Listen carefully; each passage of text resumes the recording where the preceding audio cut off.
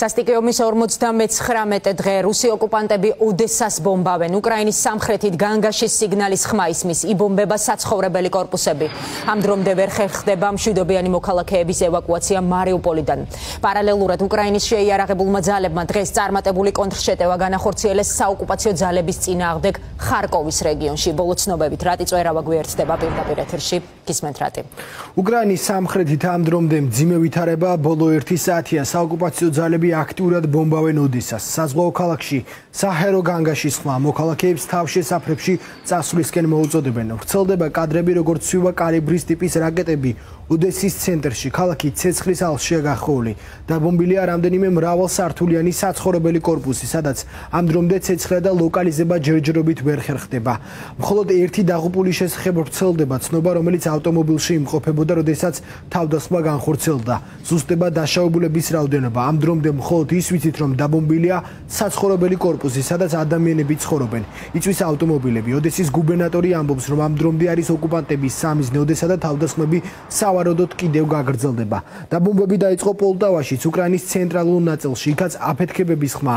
ამ ფონზე კი რუსეთი უკვე ნიადაგს ამზადებს იმისთვის, რომ რუსეთმა უკრაინაზე აკრძალული ბიოლოგიური იარაღი გამოიყენოს. შემდეგ კი ეს ყველაფერი უკრაინას გადააბრალონ. რუსეთის თავდაცვის სამინისტროში ამბობენ, რომ პროვოკაციას ამერიკა ამზადებს. Министерство обороны Российской Федерации ამერიკის შეერთებული შტატები ამზადებს პროვოკაციებს, რათა შემდეგ დაადანაშაულონ რუსის სამხედროები უკრაინაში ქიმიური, ბიოლოგიური და ბირთვული იარაღის გამოყენებაში. ყველაზე სავარაუდო ვარიანტია ხარკოვის და კიევის ქიმიურ და ბიოლოგიურ ობიექტებზე თავდასხმა და ამით პროვოცირება, ასევე განიხილება ზაპოროჟიეს ელექტროსადგური. უკრაინა ამ პროვოცირებასთან ერთად ცდილობს ზეწოლა მოახდინოს ჩინეთსა და ინდოეთზე, რათა მათ შემდეგ აიძულონ სანქციების დაწესება რუსეთზე. კლაუ მძიმეა ვითარება მარიუპოლში, საიდანაც დღეს 12 საათზე მოქალაქების ნაწილის ევაკუაცია უნდა განხორციელებულიყო ზაპოროჟიეს მიმართულებით. ამ დრომდე ზაპოროჟიეში არც ერთი ავტობუსი ჩასულა, ამიტომაც უცნობია, შეძლეს თუ არა მოქალაქეებმა ყველაზე ცხელი წერტილიდან გამოსვლა. ფრონტის ხაზზე არსებული ვითარება შეაჯამეს უკრაინის პრეზიდენტის ადმინისტრაციაში.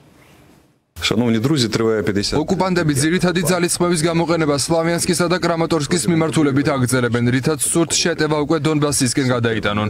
ისინი ატარებენ შესაბამის ოპერაციებს, რათა გამოავლინონ ჩვენი სუსტი მხარეები, რომელიც თავდაცვაში გვაქვს. შემდეგ კი მათზე თავდასხმა განახორციელონ, თუმცა უკვე 6 დღეა ვერსერთი მიმართულებით წარმატებას ვერ აღწევენ. ცდილობენ ჩაახშონ მარიუპოლის დამცველთა ბოლო წინააღმდეგობა აზოვსტალის მიდამოში. ოკუპანტები ბოლო საათების განმავლობაში განსაკუთრებით გააქტიურდნენ და თავდასხმებს ფრონტის სხვადასხვა მიმართულებაზე ახორციელებენ. სამხრეთთან ერთად რუსულმა ავიაციამ შეტევა განახორციელა ჩრდილოეთ ნაწილში. ვრცელდება ინფორმაცია, რომ ახლაც აქტიურად ბომბავენ ხარკოვის ოლქს.